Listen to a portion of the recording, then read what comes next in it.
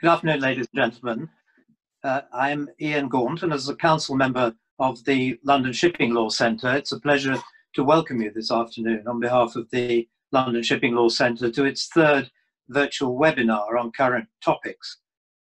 Uh, this webinar is designed to, to tackle the subject of practical and legal issues in shipbuilding, which is a subject rather dear to my heart as I've recently been involved in co-authoring a new edition of the Law of Shipbuilding Contracts, although unfortunately the book went to press before uh, the decision in Guoxin against uh, precious shipping, which is going to be the subject of quite a bit of the discussion today. Uh, but in another capacity as one of the arbitrators in that case, I'm rather relieved to find that the judge upheld the award of the arbitrators on the point on, on appeal in the case. Uh, may I introduce Sir Richard Aikens to chair the webinar today? Sir Richard is, of course, a distinguished judge, until recently a member of the Court of Appeal, and now an equally distinguished arbitrator. Uh, before taking to the bench, Sir Richard was a leading member of the commercial bar and counsel in many important shipbuilding and commercial cases. He is now, in addition to arbitrating, a visiting professor at King's College and at Queen Mary uh, College, University of London. So without further ado, may I hand over to Sir Richard. Thank you very much indeed, Ian. Good evening to you all and welcome to this webinar. Of course, despite the coronavirus pandemic, the fact remains that over 90% of the world's trade is uh, taken to its destinations from its point of origin in ships. And there is always a need for new ships, and therefore there is always a need for shipbuilding. People want more efficient ships, they want cleaner ships. And so the job of providing those goes on. But inevitably, in times like the present, problems arise, possible delays, possible defaults, possible problems, possible breaches of warranties, and so on and so forth. And that's why we are looking at these practical and legal issues in shipbuilding uh, and having a particular focus on the SAJ form in today's world, which is a different world from what it was even only three months ago. So that's why we're having this seminar.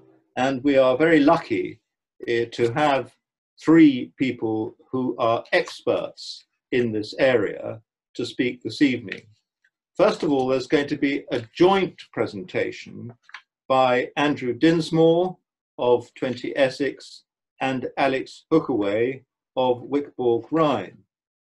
Andrew uh, has, of course, very uh, recent and important experience in the uh, cases, uh, the Jiangsu case, uh, and the, uh, the um, otherwise known as the precious shipping case, uh, and uh, other cases concerned with shipbuilding. he practices not only in the world of shipbuilding disputes, but extensively in other commercial and international uh, disputes uh, in litigation and in arbitration. Uh, and he also has perhaps the slightly rare distinction of having full rights of audience to appear before the AIFC court in the Republic of Kazakhstan. I've had the good fortune of uh, co-authoring with Andrew uh, articles uh, on issues concerning jurisdiction and also uh, the consequences of breach of the GDPR. Turning to Alex, Alex is a senior lawyer at Wikborg Rein's London office and is part of the firm's shipbuilding offshore practice. Before that, he worked and lived for three years in Singapore. He does work in traditional dry and wet shipping and also has um, live casualty attendance experience, experience in crisis management, and more latterly, involving disputes concerning specialist offshore construction and services vessels. So uh, the two of them, as you can see, have got a wealth of experience in this area. And they're going to talk to us now about the legal issues which arrive under the SAJ form when there are defects in a series of vessel, vessels and also allied legal issues, uh, particularly as a result of the current uh, COVID 19 crisis, uh, focusing on things such as delays, defaults, and uh, possible uh, other issues which arise as a result of the pandemic. So uh, I think, Andrew and Alex, it's over to you. Oh, before I do that, there's one further thing I should mention. Uh, those who are watching and listening, if you want to ask a question, and we do encourage questions, please just uh, put them into the Q and A box, which you can see at the bottom of your screen on the right hand side, and then I will pick them up and we can take it from there. Okay, Andrew, Alex, over to you. Thank you, Sir Richard. Uh,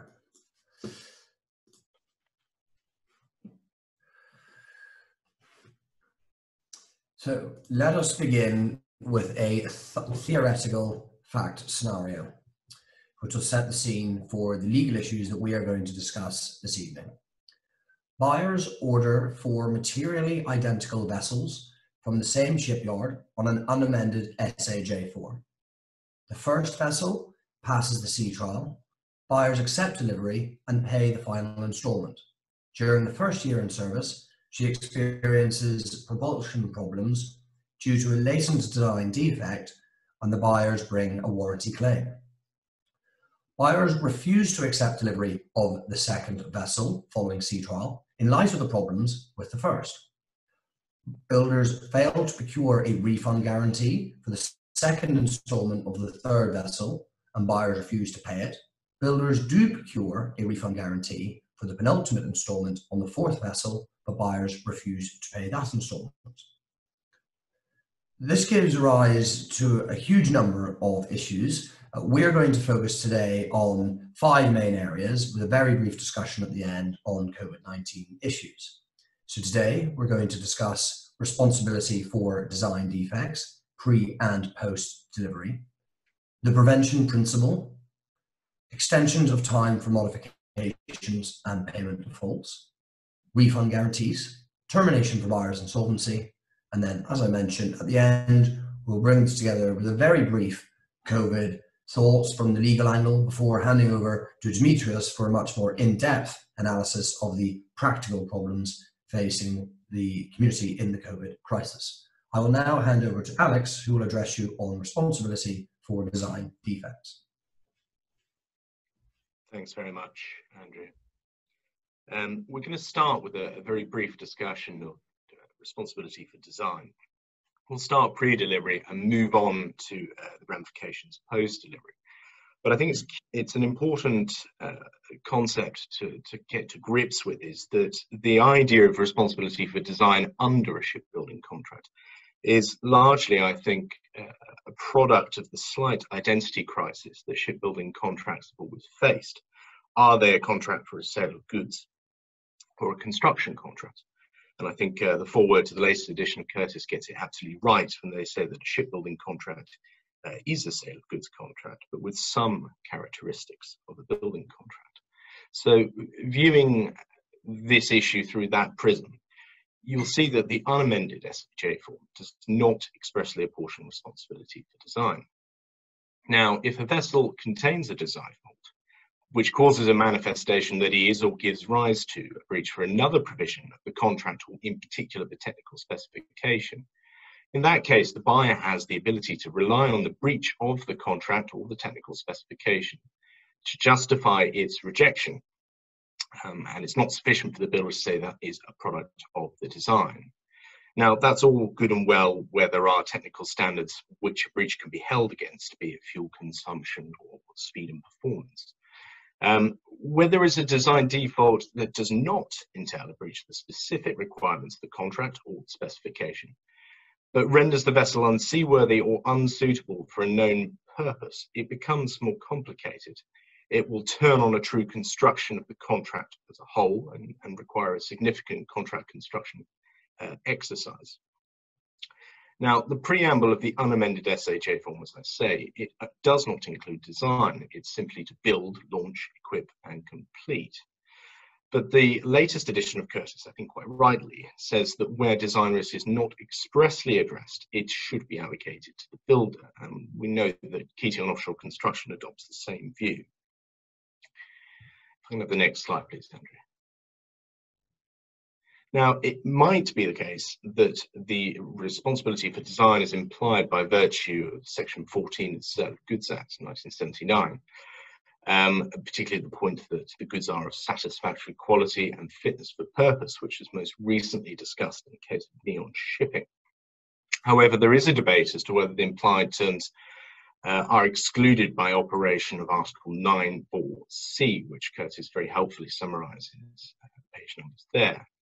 What is quite an interesting development is the recent Supreme Court case, Robin Rigg, in which the Supreme Court held that where a builder has warranted to build the vessel to a specification, that it will be fit for a specified purpose, both obligations must be fulfilled. Uh, and the way I've termed this is that this seems to be a sort of fill the gaps approach. So where you have specific performance standards, particularly in the technical specification, where there are perhaps gaps which may still render the vessel unseaworthy or not fit for purpose, it is this Robin Rigg uh, line of thought which might fill the gaps between the specific standards and the general concept of seaworthiness. As I say, a design fault which causes no other manifestation, for example, one which leads to a shortened lifespan of a component, but would be picked up in routine maintenance and result in more frequent replacement, is likely to be a breach of the reasonable care and skill obligations, which Curtis quite rightly picks up at page 23. But best practice is very much to ensure that such discussion uh, never begins and to insert, ensure certainty, uh, amend that preamble in the contractual negotiations to expressly include design, as was the case in the famous Adyard case. However, I would note um, from experience of several occasions is that this problem is particularly acute when you have a situation where a buyer is contracting with a builder for a construction of a standard type of vessel, uh, for example, uh, common bulk carrier designs or container ships, in circumstances where a, design may be imported from a third party, a, a reputable design house, etc., um, which naturally a builder is going to take issue with in assuming responsibility for design. On the next slide, please, Andrew.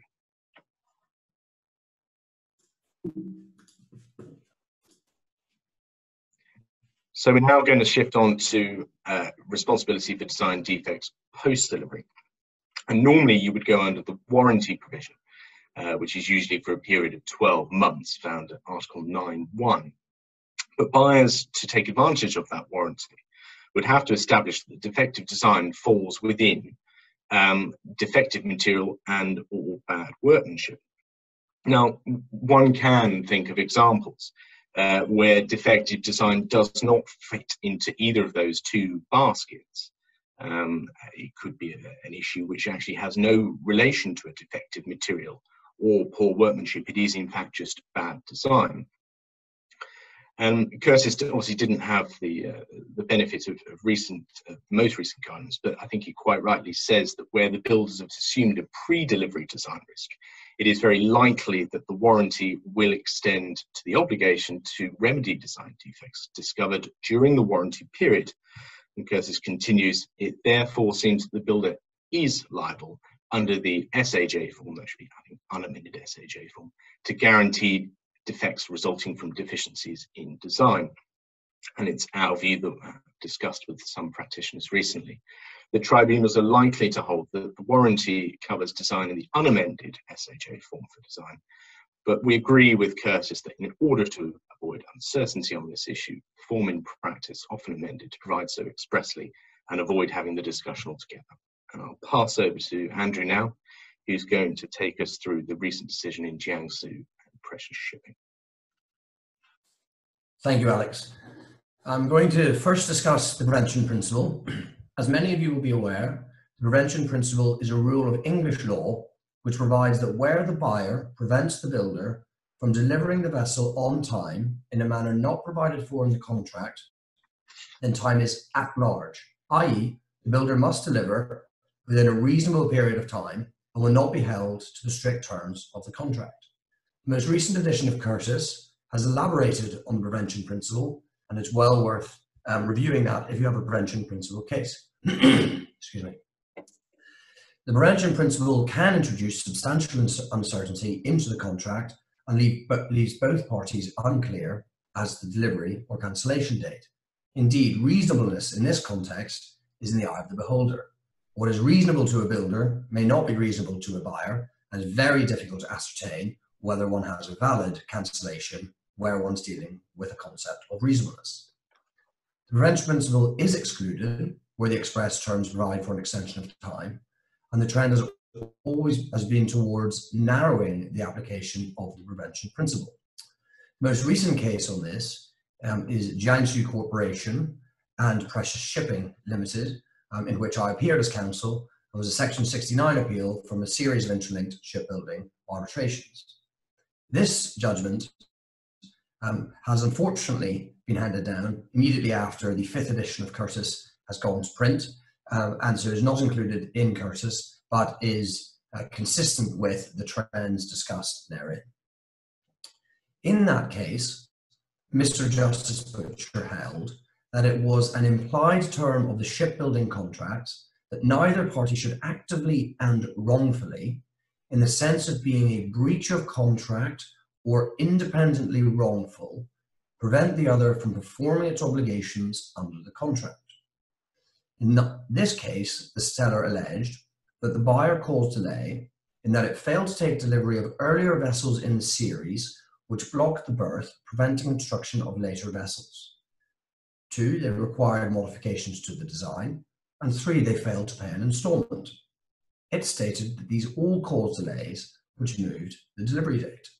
Just pausing for a moment there, uh, and coming back to the phrase breach of contract or independently wrongful, uh, the breach of contract scenario is simple and one that we'll all be used to. The independently wrongful concept is an interesting one. In this case, the argument would be that by failing to take delivery of an earlier vessel, the buyer breached the contract in relation to that earlier vessel, which was independently wrongful from the current contract under discussion, and so led to the movement of the delivery or cancellation date on the later vessel's contract. Um, and to an extent, one can, can see how that argument might work. Beyond that, however, uh, the concept of independently wrongful is not defined in the judgment, and it's unclear exactly what would be required to engage this implied term.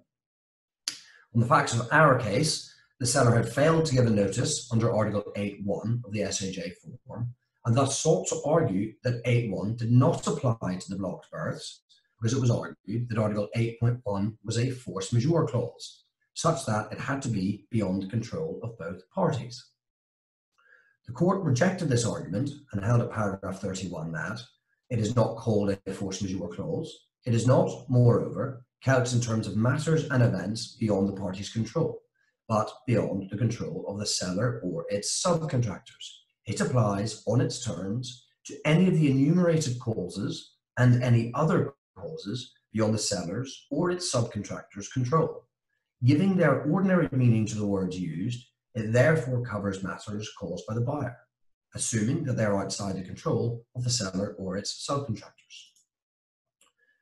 This was arguably a departure from Zhoushan and Golden Exquisite, but the court in Jiangsu held that what the present case has highlighted, however, is that there may be other buyer's breaches, including of the implied terms to non-prevention, which cannot readily be considered as being provided for elsewhere in the contract. In light of that, I consider the best interpretation of the contract is to give their face value to the contested words of Article 8.1. Um, some of you may be aware of the Zhoushan decision, uh, but in brief, it, it, involved allegations of unreasonable delay by buyer supervisor. In that case, there was an argument as to whether or not that delay was covered by Article 8.1 or was covered by Article 4. And in that circumstance, um, the court was willing to give a narrow construction to Article 8.1. In Jiangsu, by contrast, the court gave a broad construction to Article 8.1. And thus, on their face, they appear to conflict. However, I would argue that uh, Zhoushan is explicable by its context. In that case, you're dealing with the general provision versus the narrow provision, and you're dealing with whether Article 4 applied. That is quite a different context to arguing for a narrow construction of Article 8.1 to bring the prevention principle into the fray and completely throw out the party's contractual regime. And so, whilst on one level one can argue there's a, a contrast between Zhoushan and Jiangsu, actually, when it comes to the breadth of the prevention principle, uh, as contrasted with Article 8.1, Jiangsu is the only authority on that point. Zhoushan does not discuss the prevention principle, and it was quite rightly not argued. As a result of uh, Mr. Justice Butcher's conclusions, he concluded that the allegations of delay relied on were covered by Article 8.1, such that notice was required under Article 8.2. Court continued to hold that Article 8.2 would apply even if the delays relied on were outside Article 8.1 and not covered by another notification regime. Thus, this is the further nail in the coffin of the prevention principle. First, it's covered Buyer induced delay is covered by Article 8.1, but the court has also held, even if it wasn't, you must give notice under Article 8.2. If you give notice under Article 8.2, then one is not going to be in a scenario where time is at large in the traditional prevention principle sense. Rather, the delivery date will move in accordance with the provisions of Article 8.2. Indeed, the court recognized this um, in stating that it should lean in favour of a construction that favoured notification requirements. Mr. Justice Butcher gave permission to the Court of Appeal, noting this was a point of general public importance, which is likely to be heard later this year in November 2020. The Court then went on to consider extensions of time for modifications. Mr. Justice Butcher held that Article 5 only contemplated an extension of time where such was agreed between the parties. Without agreement on this, the seller is entitled to continue with construction to the original design and therefore cannot claim additional time if it chooses to modify the design. It is common for parties to expressly provide for extension in the case of modifications.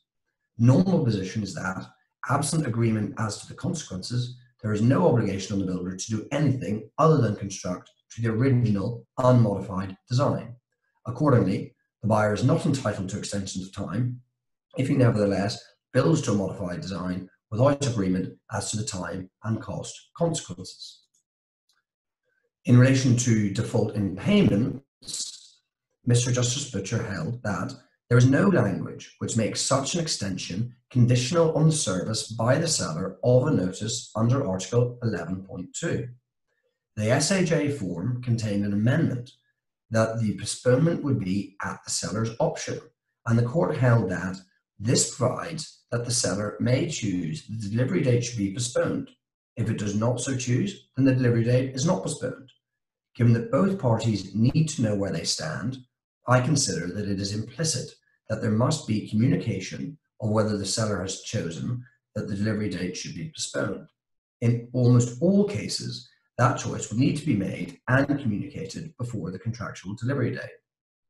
His Lordship went on to give an example where um, a post delivery date discovery may still be justified. For example, if um, the seller was insolvent prior to the delivery date, but that was only discovered post delivery date. Um, and as he, his lordship stated, in almost all cases, um, the choice will be made before the delivery date. The unamended SAJ form does not contain this language for the postponement of the delivery date, under Article 11.3, although it does for the decision to rescind under Article 11.3b, namely the at the seller's option language. Thus, if the wording at the seller's option is not included, it appears that delivery date will, on the unamended wording, extend. Will not extend, sorry. However, in our view, it is likely that a future tribunal would rely on Jiangsu to find that notification is nevertheless required under Article 8.2 to postpone the delivery date for non payment. Were it otherwise, there would be uncertainty as to whether a buyer could terminate for delay.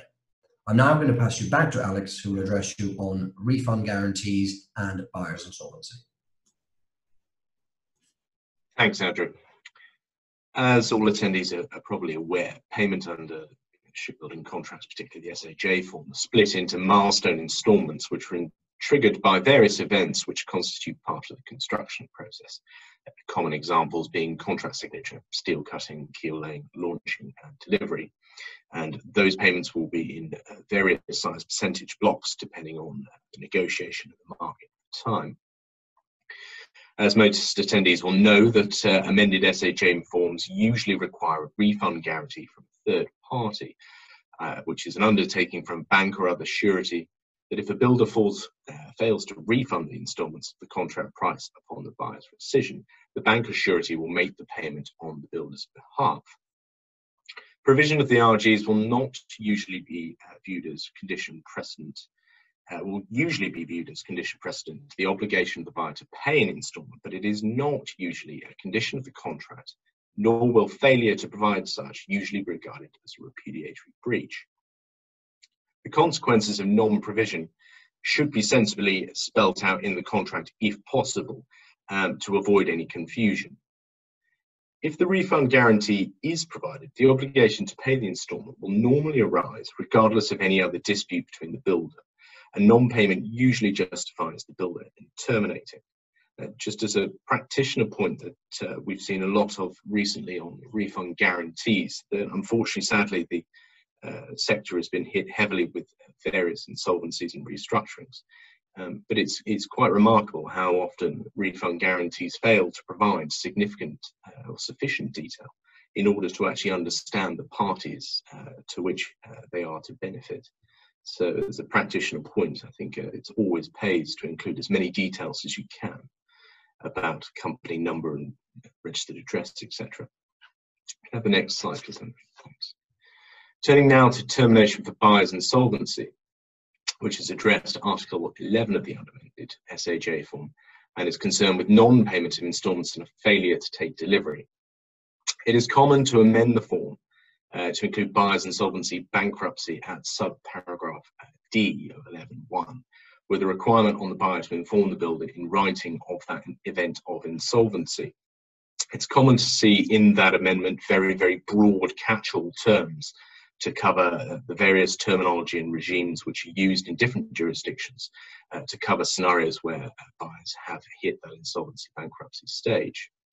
Um, another practitioner point, uh, which is we, uh, I'm sure many of us have come across many times, is that where possible, a builder should make clear which law governs the question of whether a buyer is in fact insolvent and bankrupt, which legal test is to apply, whether that's English law, which might govern the contract, or the law of the buyer's domicile, which can avoid some fairly complicated uh, conflict, uh, conflicting uh, sort of regimes as to, to what, what constitutes insolvency.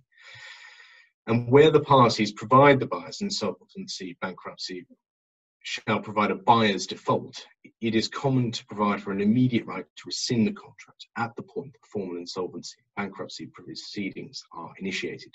In practice, the builder will exercise its options to terminate upon receipt of the buyer's written notice, such that proceedings have been initiated. The next slide, please, Andrew. And finally, in the event of rescission, Article 11.3b provides that one, the contract becomes null and void. Two, any buyer's supply shall become the sole property of the builder, and that's a particular issue in more complicated uh, designs of vessels. Three, the builder shall be entitled to retain any instalments paid by the builder to the buyer on account of the contract. In the event of termination, the builder has the option to complete and sell the vessel to a third party as it deems fit in accordance with Article 11.4a. And if it completes and sells the vessel, the proceeds of that sale will be allocated towards its cost of construction, sale, and unpaid instalments, with any surplus going to the buyer without interest. I think I now pass over to Andrew for a brief run through of recent COVID issues. Thank you, Alex. Uh, yeah, we're just going to touch on some of the consequences flowing from these slides uh, from a legal perspective before handing over to Dimitrios, who will be able to give you a much more practical, in-depth analysis.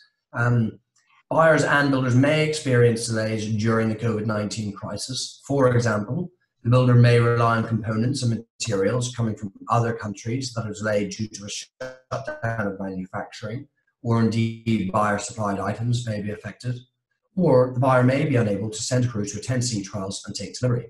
It's clear from Jiangsu that such delays fall within Article 8.1, such that the builder must give notice in accordance with Article 8.2.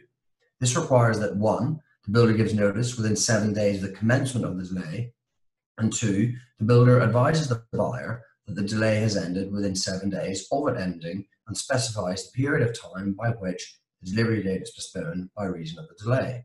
In the event of a buyer's insolvency, Builders should check whether it's been included in Article 11, and if so, be sure to give notice terminating for default. If currently negotiating contracts, builders should include such provision. Equally, the inverse is true, and I've seen cases where builder's insolvency is also uh, a default. It would be a seller's default under Article 11. The same consequences that Alex has discussed would apply in those circumstances as well. Moving to a brief practical point as to arbitral procedure during these unusual times. Um, there will be a lot more remote hearings, as I'm sure many of you will have experienced.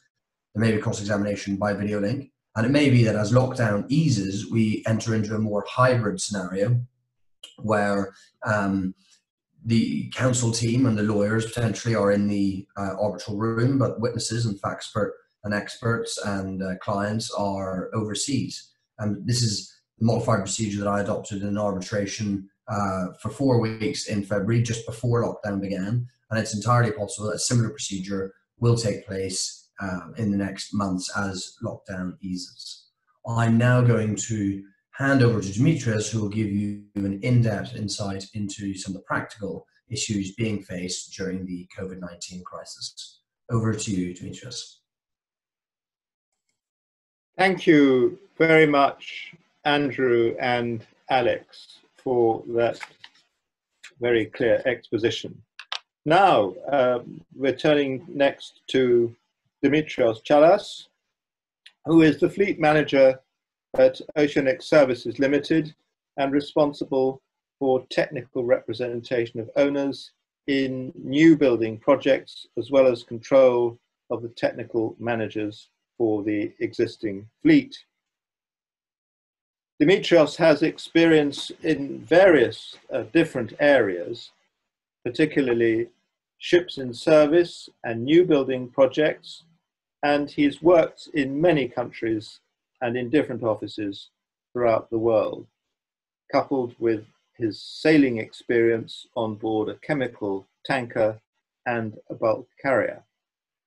Most importantly, perhaps, for tonight's webinar is the fact that Dimitrios is currently directly involved in a large new building project in Korea as well as major repair projects in China under strict budget and timeline constraints.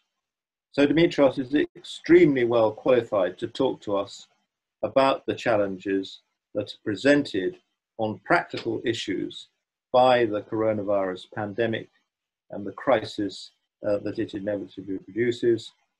He's going to focus particularly on the shipbuilding industry in South Korea, but looking more generally at the position in Asia as well. Dimitrios, over to you. Thank you, Sir Richard. Uh, thank you, Alex and Andrew.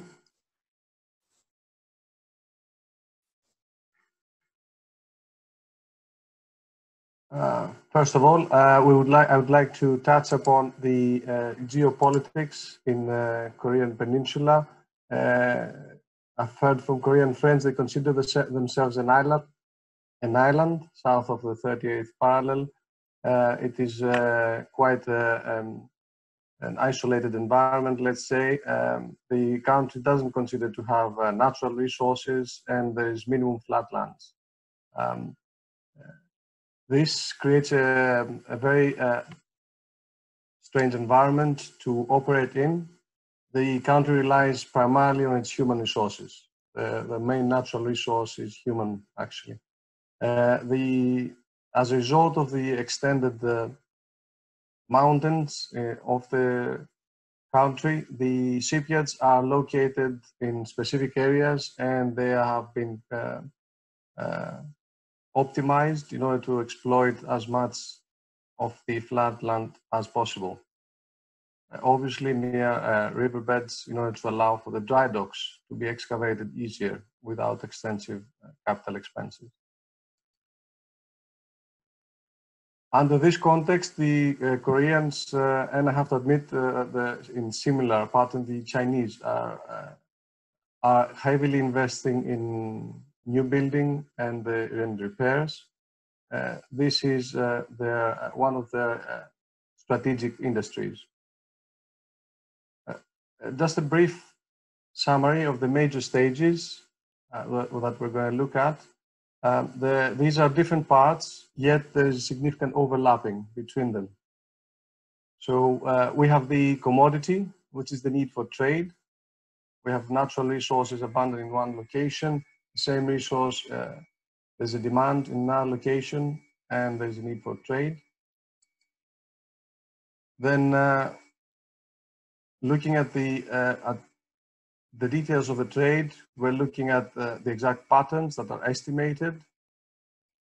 Financing is secured, and we're looking at the different uh, uh, stage payments associated with the financing and uh, how different projects are being uh, financed.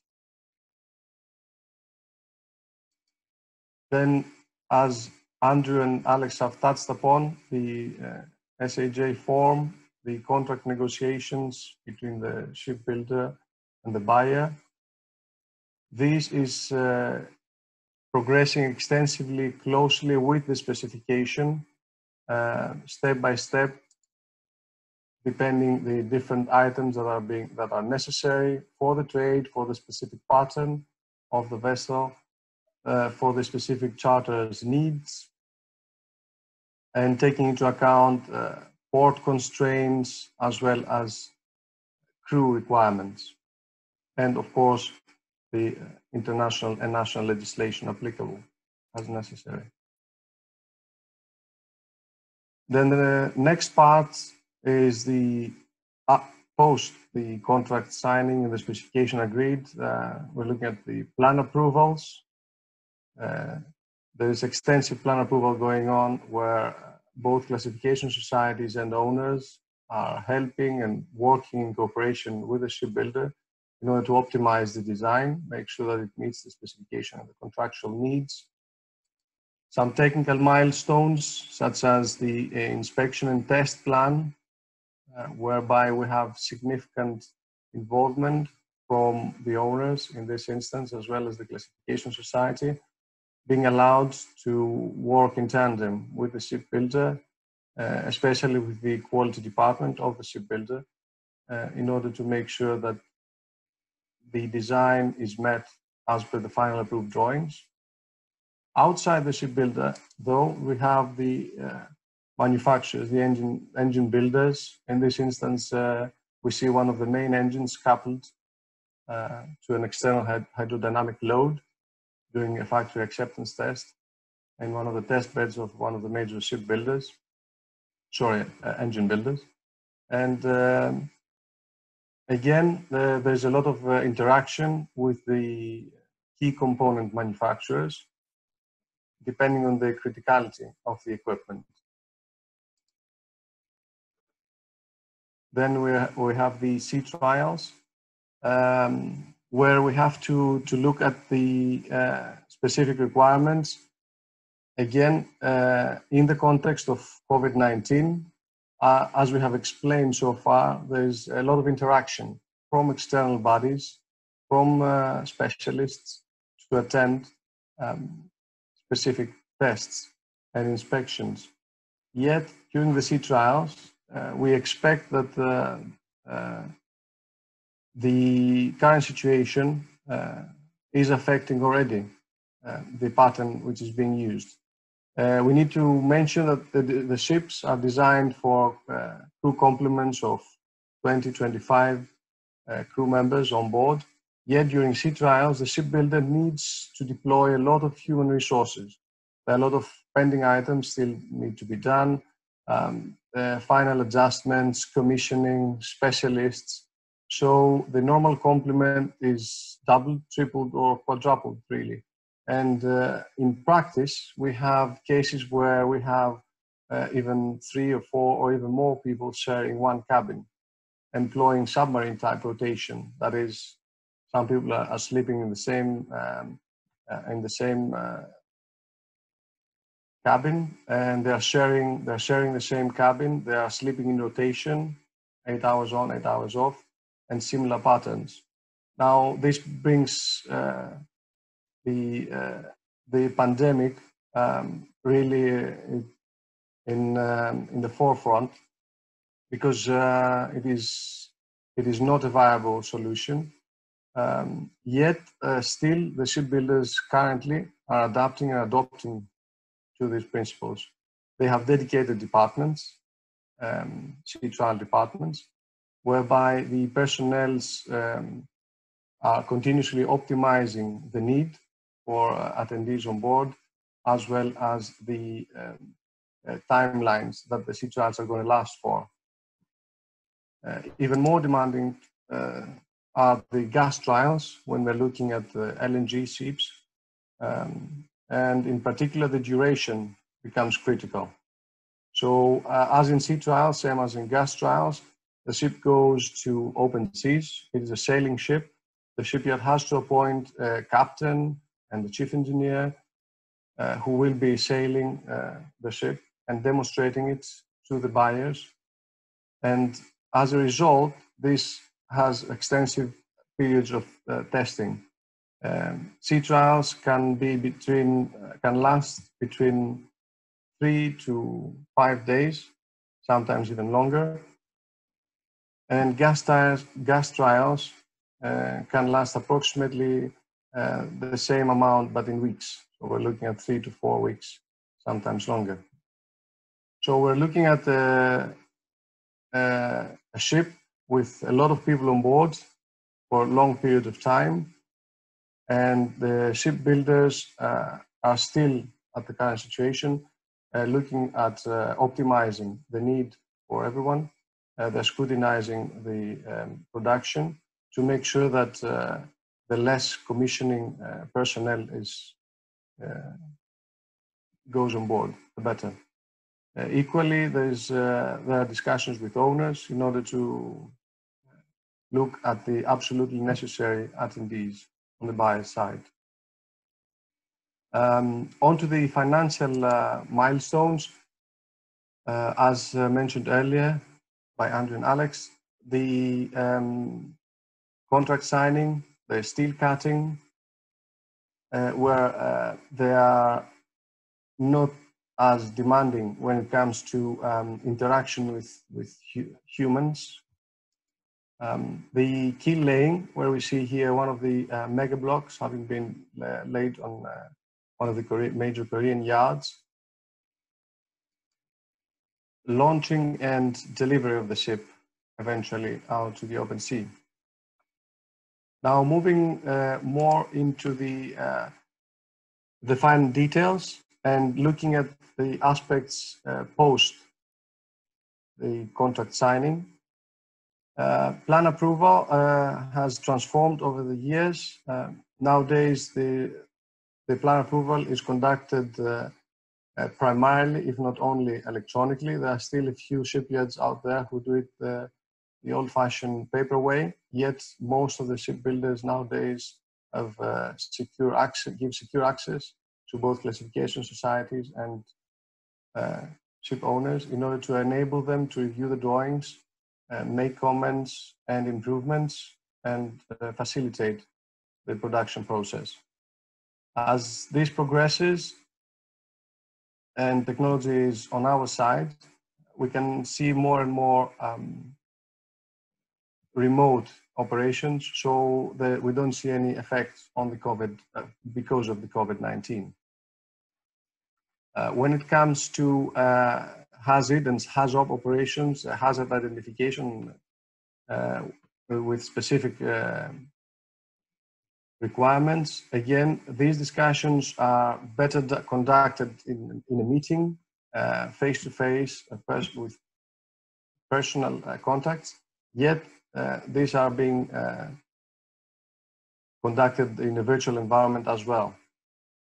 when it comes to raw material, um, the material itself it, uh, it is, is not an issue the, as, uh, as it has been mentioned earlier correctly the production of the material and the supply of the material might be uh, affected. Uh, yet the shipbuilders are doing uh, everything they can and the maker and the equipment and component makers in order to secure their production. Um, these are long contracts. Um, they have very tight control of the raw material and the equipment manufacturers, and they, they are continuously um, monitoring the progress and making sure that the deadlines are met. This might have an effect, especially on um, components which have been affected by coronavirus. For example, we have had cases where uh, some of the more delicate measuring meters. I've used equipment same as the equipment being used in um, in equipment that um, identifies the virus in laboratories, etc. And thus there has been a, a, demand for these components, which has starved the market. Um, but uh, that's narrowed down into the flow meters in reality. So, but these these are items that are small, and not extensively um, used and would not affect um, building of a ship nor its equipment components.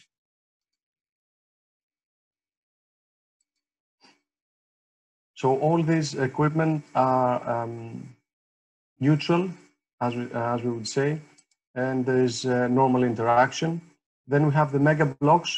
We have uh, shipbuilders that uh, are located in one location, yet they're subcontracting large blocks which are being shifted from one place to the other with huge cranes, barges that arrive to the ship, shipyard and eventually um, float.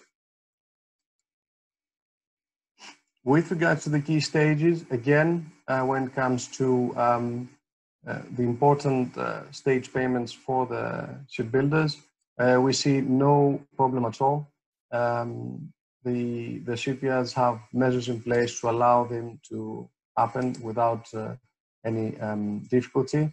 Measures have been taken, um, preventative measures, but um, other than that, um, there's no uh, there no big delays or uh, no showstoppers. Uh, in more detail, with regards to the inspections, again, the, there is human contact there we have quality control, we have the owners' representatives and specialists, yet um, the shipyards and uh, all over the world are making provisions to allow for um, specialists to attend, to examine.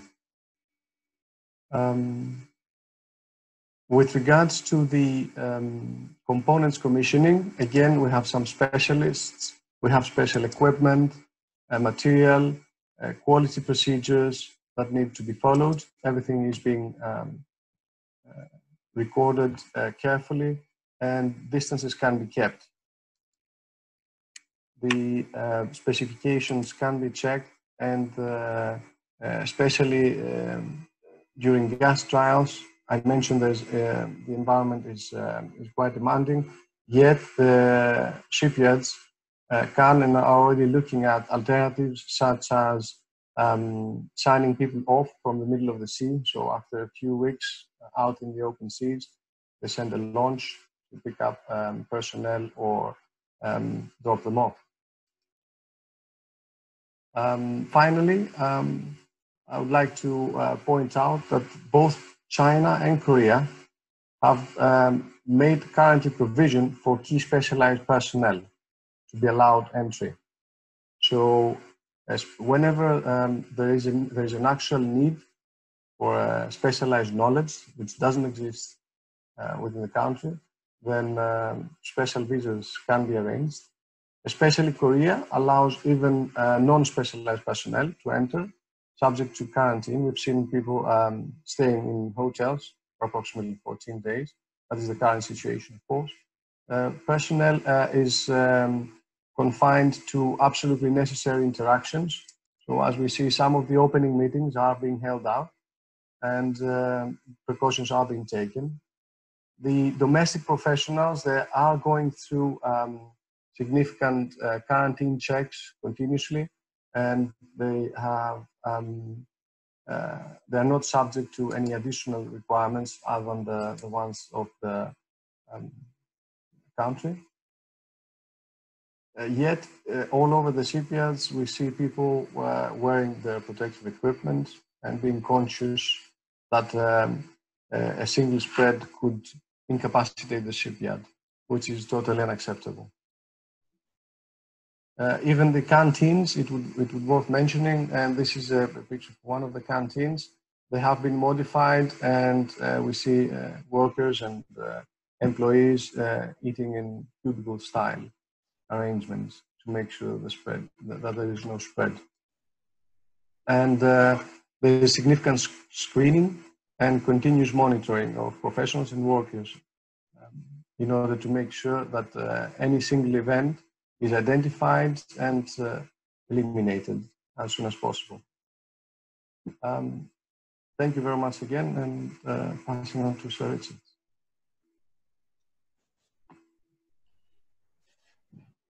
Dimitrios, thank you uh, very much indeed for that uh, magnificent survey.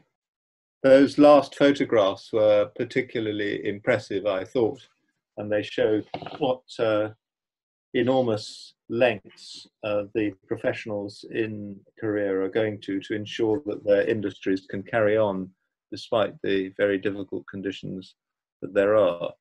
And uh, one one wonders whether the same is being done in industries, not necessarily shipbuilding, in this country.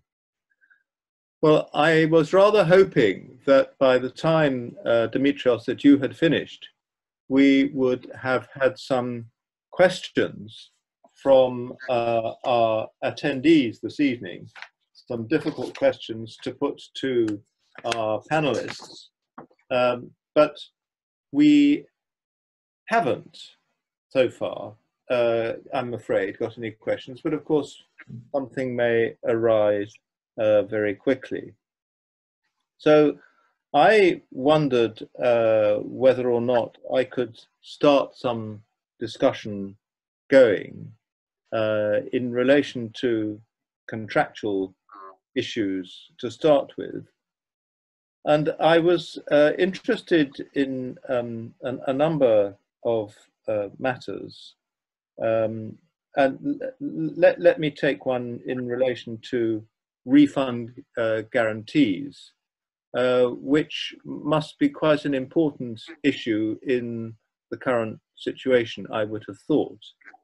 And it, it does um, occur to me that the statement, um, which is the, the accepted law, uh, that a failure to provide a refund guarantee is not necessarily repudiatory of the contract, uh, might be something which uh, should be questioned in the current light.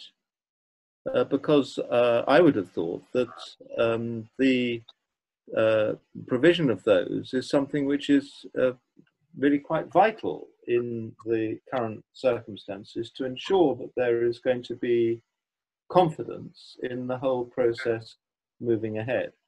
Um, I, am sure that all three of you have got um, thoughts on that. Um, Dimitrios, you're, you're still on the screen, so perhaps we start with, with you. you. How, how important in practice is this, and what are the consequences if they're not provided in the current circumstances? Uh, specifically with regards to um, refund refund guarantees, um, it is uh, very important um, that all the parties uh, have clarity. Um, Alex uh, mentioned correctly that background checks uh, need to be done, and I think it is vital that the all the parties are um, solid and that there is full traceability in order to be able to ensure that uh, the uh, everybody's obligations are met um, in, in case of default. But um, the, Sir Richard, if you allow me to pass on to Alex, uh, who would. Uh, course. No, I, I, I, meant just to start with you because you're on uh, on the screen in front of me, uh, but I gather that all the attendees can see everyone anyway. So yes, let, let, let's pass on to Alex and Andrew. Who's going to go first? I think I'll jump in there, Sir Richard, if that's okay. I, I think Dimitrios is absolutely right. I think we're we're in a position at the moment now with considerable market uncertainty. Um, and you know we're fielding queries on, on, these sort of points on an almost daily basis now because people simply aren't sure uh, what the financial positions are of their counterparties, be it builder or buyer. So I think it's absolutely right that there should be certainty, um, and if you can, as a matter of negotiation and contract, make it a condition that, that RGs are provided. I think that's absolutely critical to ensure that you are protected for, particularly on some of these uh, larger and, and, more interesting projects. We're looking at very, very serious amounts of money. So I think uh, there has to be that contractual uh, protection in place, and, and uh, properly drafted, the refund guarantee does provide that protection. Yeah. What, what, what, what about uh, past contracts where you may not have had that that degree of certainty, that degree of clarity? Do, do you do you think, Andrew, that there's a, the possibility of, challenging the, the generally accepted rule that non-provision is not necessarily repudiatory, or is that an uphill task? Um, yeah, it's a difficult question, but if we bear in mind the fact that the refund guarantee is a precondition to a payment obligation on the buyer, then the non provision of the refund guarantee is only prejudicing the builder, namely that they will no longer receive their payment. And as I understand the rationale of the current position is that if the builder is in financial difficulties and therefore unable to get a refund guarantee from a bank, that shouldn't prevent them from continuing to build the vessel, which is their primary obligation, delivering the vessel within time, and then um, fulfilling the preconditions to their payment rights. And so one can see how if one party is not performing its obligation to provide refund guarantees, you would suspect, aha, we have a breach. And if they say, I'm never going to provide a refund guarantee, you may say, ah, well, it's an intention to no longer be bound by the contract. But if we bear in mind the primary obligation to build the ship and deliver it within time, as long as that's not disadvantaged, then really the, um, there's no reason why the buyer would, would object. I mean, they're being relieved of their payment obligations in the meantime. And so um, I can understand why the rule is that it's not necessarily a repudiatory breach. But of course, with all of these things, it will be fact dependent and it depends on what other breaches are occurring and, and how the builder is performing its building obligations. Um, but I don't know if Alex has any further points to add on that. Yeah, I think, I think it's an interesting point actually, and I think this comes back to what the the over what I took from my from the reading of the recent Jiangsu Precious Shipping cases. And I think uh, Butcher's judgment was really uh, very sensible and very pragmatic approach, which the tribunal had taken first instance. And it's really communication is the key between the parties. And in circumstances where there might be difficulties in securing refund guarantees, be it because of difficulties at the financial institution themselves or with the builder, or even if it's the buyer who, who has an issue with making payment. What's quite clear from the Jiangsu Precious Shipping case is that communication between the parties is absolutely critical. And for certain parts of the SAJ form, that means a formal notice regime, for example, under Article 8.2. Uh, but also, uh, you'll see that Butcher actually takes the view that actually informal notification between the parties um, has its place as well. So I think I think communication between the parties at this time is is also important if a dispute is to be avoided. Thank you. Now we we have a question from one of the attendees, from Dimitris Monioudis. Uh, and uh, it reads, in view of the unprecedented, inverted commas, pandemic experience, what new, previously not considered, additional clauses to the SAJ would you suggest that buyers and builders should attempt to include during negotiations? Well, um, Andrew, would would you like to uh, kick off with with thoughts on that, and and then um, I'm sure both Alex and Dimitrios have got some further thoughts as well. Thank you, Sir Richard. Um, uh, it's a good question. Uh, obviously, uh, Dimitrios has asked previously not considered, but I think it would be remiss not to say that, in my view, a key additional clause, not in the unamended SAJ form, is to include buyer's default and seller's default for insolvency. Um, Dimitrios has provided with a fantastic overview of how um, companies are, are, keeping going, but it's uh, no secret, I think, that the global economy is suffering and supply chains are going to be difficult and demand may change. So that's an important additional clause that I would always include.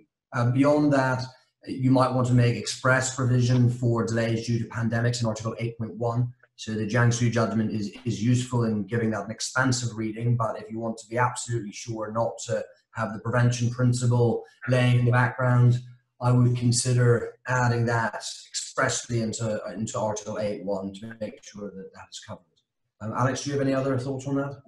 No, I'd agree with that entirely, Andrew. I mean, what I would say in, terms of the detailed drafting point, a lot of the inquiries that we've had to deal with um, over the last three months uh, have been a sort of fairly forensic analysis of, of what constitutes force majeure and then delving into um, various clauses which may have included epidemic, pandemic, act of God, etc. I, I, think what's quite important is to just uh, drill down into the impact of what this pandemic has had. I think for parties who are considering entering into commercial contracts, uh, quite possibly for, for a very long time going forward, as successive waves um, and as the pandemic is managed by different countries in different ways, um, I think it's quite important that parties consider exactly how um, the wording of the, the force majeure aspects or the uh, the delay aspects under Article 8.1 are handled because in our experience and from recent inquiries, we've had uh, very, very different permutations of, of, the pandemic, be it supply of crew or components or uh, the acts of uh, national or state governments. So I think, I think in terms of entering into a contract right now, I would think very, very hard and, and give some some thought as to the permutations of, of any such delay or force majeure provision.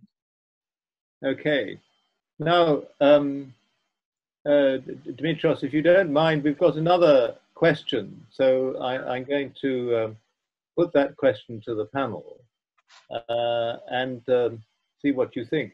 This is an anonymous attendee who asks, would unilateral sanctions, travel restrictions by certain countries, for example, United States, United Kingdom, etc., for travelers dealing with sea trials, delivery, etc., to say China, due to trade wars, be considered as a justified cause of delay. So not necessarily to do with the current pandemic, but trade wars. But obviously, it is it, the the question has has relevance in relation to the pandemic as well. Well, um, uh, what what do you think about that then, Alex? Um, well, I think well, first and foremost, it depends what your contract says. But if you look at, I'm looking at the, uh, the unamended, uh, the unamended SAJ form eight one, which says intervention of government authority. Um, I think this is quite interesting because um, I, I, appreciate the, con- the questions in the context of perhaps a trade war or perhaps political tensions between parties. Um, but but that, this also permeates into the pandemic because certain countries have uh, taken very different views and very different approaches, and yeah. the government restrictions have taken very different forms. And it's been our it's been some of the inquiries we've dealt with have been actually the country in which the vessel is being built may not have that much in the way of uh, restriction, but the uh, country from which the contractor or the supplier or the buyer is, is based has a very different scenario indeed. So I think it's the same situation. It's this uh, to what extent does the intervention of government authorities, be it in the place where the vessel is being built or where the key personnel uh, are based. And I think depending on what your contract says, there is there is an argument for that.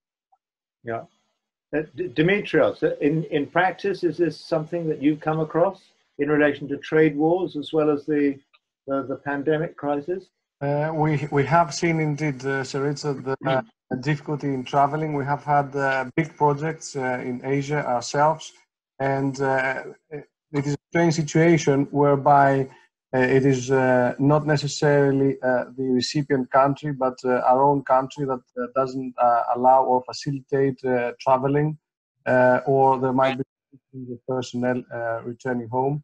Um, and generally, what the uh, the way the way that uh, we can deal with that, and uh, we're trying to find local resource.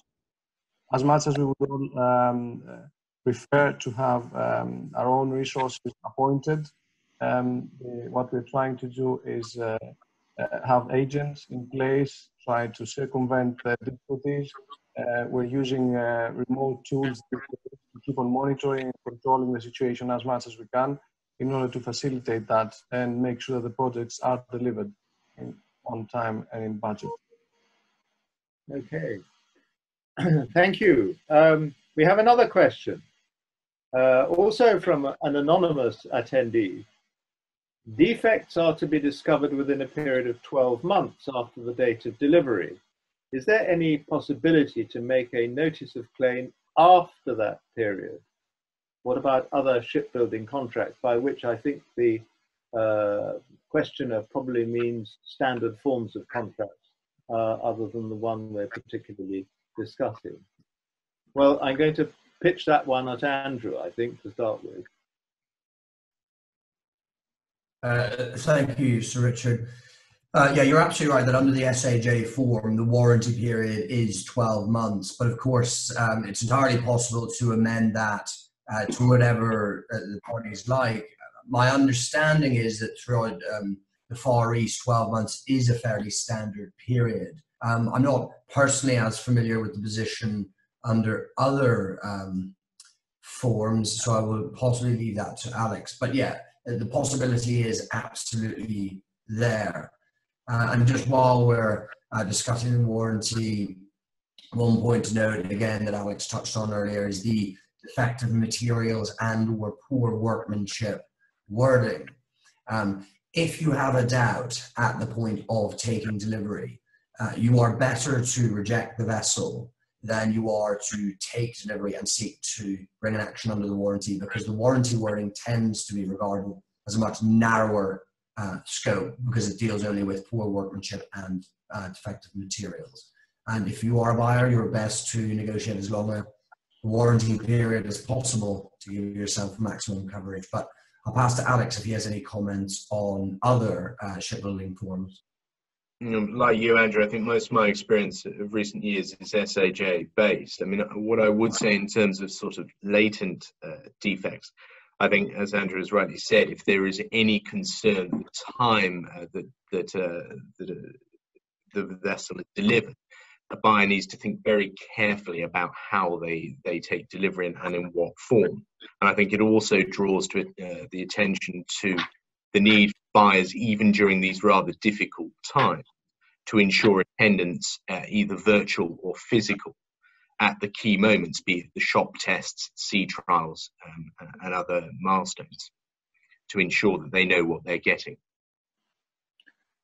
I think um, the, the, the, panelist probably contemplates uh, a situation where there is a, a, defect that is discovered, but then there's a delay in bringing the claim and how to get around the fact that it's an attempt to do that after the 12 month period. May raise some difficult issues of, of law um, and perhaps more complicated than we can go into at the moment. But I have one, uh, one further question uh, that's arrived, and it's extremely topical uh, because it concerns cruise ships.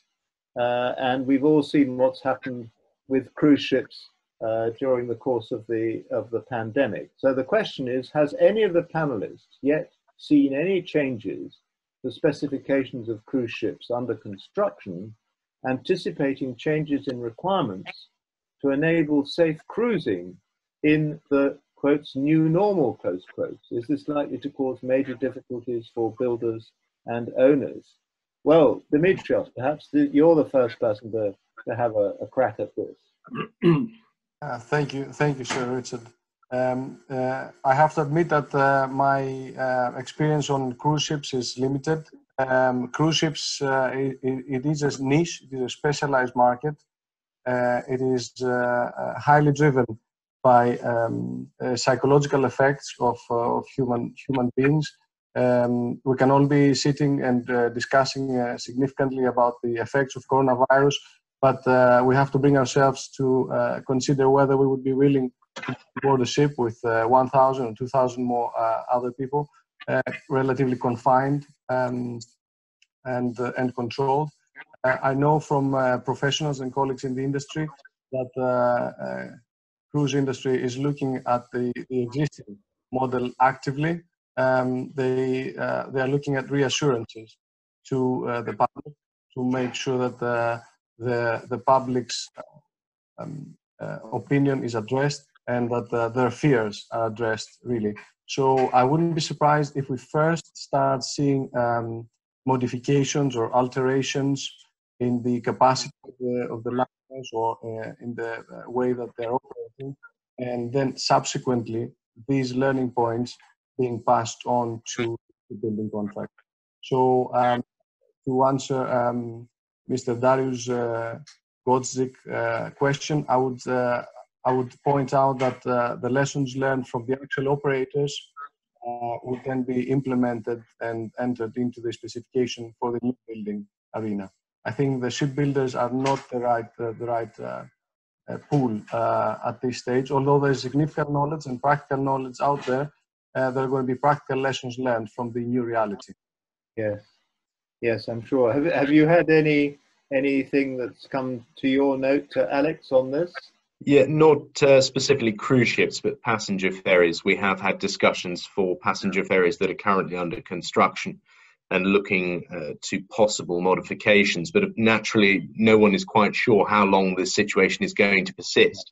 So people are reluctant to commit to more permanent modifications if indeed this is a, a sort of social distancing is something which is only going to last for a short period. But but on that, I suppose that just goes back to the, the point that's covered in Jiangsu, that where there is uh, modification, then of course the extension time protocol must be followed under the contract with appropriate notification between the parties to ensure that delivery dates are moved. Well, talking as somebody who uses uh, passenger ferries um, regularly, or did so up until March, uh, I think I would be very keen to know what modifications might be coming along in the future, uh, because uh, I think I'm more naturally um, a bit cautious uh, to to continue using them uh, if there are not modifications. But there we are we'll see. Now, um, there aren't any more questions that have come up from attendees at the minute, but hmm. I just wanted to, to throw one in, one last one in, perhaps, uh, to, to round things off. Uh, and that was really on the question of uh, insolvency. As as um, panelists have pointed out, insolvency is something that can arise either on the, the builder's side or on the buyer's side. Uh, and uh, as has uh, been pointed out frequently, that the question of, of by which law you decide whether there has been an insolvency on one on one party or the other is not explicit, uh, and the, the advice is that uh, this should be dealt with expressly in the contract terms. I just just wondering whether or not it is um, how you deal with this if it's not not um, express. W- would the implied term be that it would be uh, insolvency according to the domicile of the relevant party?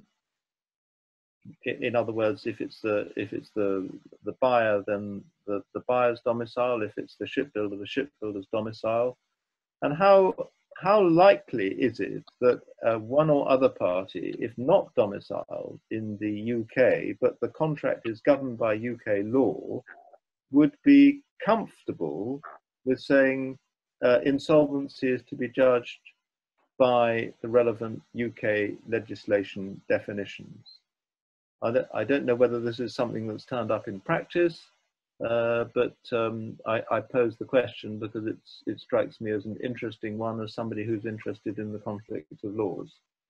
Andrew, Alex, have you got any experience of, of Um, thank you, Sir Richard. It's a, it's a very difficult question. Um, my initial reaction would be to say that we're dealing here with a contractual obligation, and it's a contractual obligation uh, contained in an English law governed contract. And in those circumstances, it would be unusual, although not impossible, for that obligation to be governed by a non English law, and it, it could be something else. But I think in the absence of choice, you would fall back just on, on the usual Rome 1 Article 4 provisions. This would be a a sale of goods and it would be or if you've got the extra choice um, with Article 3. But it, it is tricky. I, I suspect that um, a tribunal would, would lean more in favor of English law for that question because it has been selected by the parties. Um, but equally, one can see the argument that if you're dealing, for example, with uh, sellers insolvency based in, in China, they would say, well, of course, we're dealing with my insolvency and where I'm domiciled should reign supreme. But I think as a matter of conflicts, English law, Rome 2 would point towards English law. Okay. Um, now there's there's a, a follow-up uh, question from the, the person who asked about the uh, the possibility of making a notice of claim after the 12 month period uh, for defects. Uh, the, the, further question uh, asks exactly how to get around the delay in discovering the defect, uh, a, a, defect being latent, uh, and so not discoverable within the 12 month period, does the period of 12 months extend to the statutory implied terms as to quality? That begs a number of questions, I suppose. Yeah, I'll just jump in briefly on the second question. Um, under the SAJ form, uh, it is thought that the warranty excludes the implied terms as to quality. So once you receive delivery of the vessel, you no longer can rely on the implied terms, uh, and they're they're gone completely. It, it's thought to replace those with the specific warranty. Um, as to the first question, I suppose the problem is there is no way to get around the delay. Uh, the 12 month warranty is intended to cover latent defects. And if the defect is patent at the point of delivery, you would reject the vessel. Um, and the 12 month period is supposed to provide that little bit of extra protection if something should arise. Unfortunately, if something arises in month 13, in my experience, it's very difficult, if not impossible, to get around the 12 month period and seek to somehow extend the warranty. Uh, but I don't know if, if Alex or Dimitrios has any other thoughts. Yeah, no, I agree, I agree with that completely, Andrew. I think um, in circumstances, uh, I have in mind a situation where uh, there's a series of vessels, um, common uh, builders and buyers, um, you could see a situation where maybe there might be issues with certain vessels which perhaps don't manifest themselves in others in the series. And you're quite right. I think beyond month 13, it all gets very difficult. But uh, as I mentioned earlier, if you have a situation where you have a series of vessels and some present with uh, different uh, design issues or workmanship issues, then a buyer should think very carefully about on what terms they accept delivery and whether in fact they want to revisit the warranty period. Um, but it but it doesn't seem right to me, uh, depending on what your contract says, that a builder is somehow on the hook for the possibility uh, that you know, 24 years and 11 months, assuming a sort of useful commercial life of 25 years, that uh, a latent defect that somehow pops up, which leads to a major issue, they would somehow be, uh, that's not exactly the, the, the, contractual bargain which they have struck. Okay, well, thank you very much. And there, there is one further question. If there's a short answer to it, then let's have it. I suspect actually it's quite a difficult issue And the, the question is, if the buyer wrongfully rejects the vessel due to defects, i.e. there aren't any defects which would give a right to reject, what are the measure, what are the measure, what is the measure of damages uh, that the shipbuilder can claim on the basis of a wrongful repudiation uh, of the contract, I assume? Um, easy or difficult, Andrew? Um, I can give you the short answer, uh, which is that generally the measure of damages will be the loss of profits. So if the value of the vessel has gone up, then generally the builder will not have suffered any loss. And if now the market values of the vessels are much lower, then he'll be able to claim for the difference between selling the vessel at, at the market now and what the contract price was worth. But that's quite a broad brush analysis and it's very fact specific and there'll be all sorts of other bits and pieces and consequential loss, etc. that yeah. much, much longer answer.